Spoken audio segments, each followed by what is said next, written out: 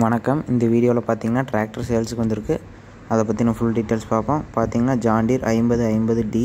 வண்டியினோட year of model பார்த்தீங்கன்னா ரெண்டாயிரத்தி பதினாறு. ஓனர்னு பார்த்தீங்கன்னா செகண்ட் ஓனர்ட்டு இருக்குது வண்டியில் புக்கு பேப்பரு எல்லாமே வந்து கரண்ட்டில் இருக்குன்னு சொல்லியிருக்காங்க.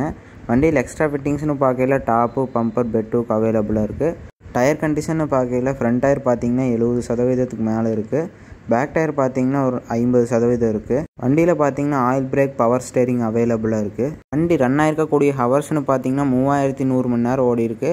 நல்ல குட் கண்டிஷனில் இருக்குது வண்டி கேட்குற விலை அப்படின்னு பார்த்தீங்கன்னா நாலு லட்சத்தி தொண்ணூறாயிரம் சொல்கிறாங்க இது ஃபிக்ஸ்டு இல்லை. நேரில் பார்த்தா அனுசரித்து கொடுத்துக்கலான்னு சொல்லியிருக்காரு.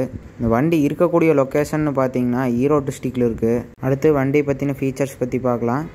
வண்டி ஹெச்பி பார்த்தீங்கன்னா ஐம்பது ஹெச்பி பிடிஓ ஹெச்பின்னு பார்த்துட்டிங்கன்னா நாற்பத்தி ரெண்டரை ஹெச்பி டிரான்ஸ்மிஷன் டைப் பார்த்தீங்கன்னா கோலார் ஷிஃப்ட் எட்டு ஃபார்வர்ட் நாலு ரிவர்ஸ் ஆப்ஷனோட இருக்குது பிரேக் பார்த்தீங்கன்னா ஆயில் பிரேக் ஸ்டேரிங் பார்த்தீங்கன்னா பவர் ஸ்டேரிங் பிடிஓ டைப் பார்த்திங்கன்னா இண்டிபெண்ட் சிக்ஸ் பிளேன் பிடிஓ ஆர்பிஎம்னு பார்த்தீங்கன்னா five forty fuel tank capacity பார்த்தீங்கன்னா அறுபது லிட்டர் வண்டியோட டோட்டல் வெயிட்னு பார்த்துட்டிங்கன்னா ஆயிரத்தி எட்நூற்றி எழுபது கேஜி ஹைட்ராலிக் லிஃப்டிங் கெப்பாசிட்டின்னு பார்த்தீங்கன்னா ஆயிரத்தி அறநூறு கேஜி ஃப்ரண்ட் டயர் சைஸ் பார்த்தீங்கன்னா ஆறுக்கு பதினாறு ரியர் டயர் சைஸ் பார்த்தீங்கன்னா பதினாலு புள்ளி ஒம்பதுக்கு இருபத்தெட்டு.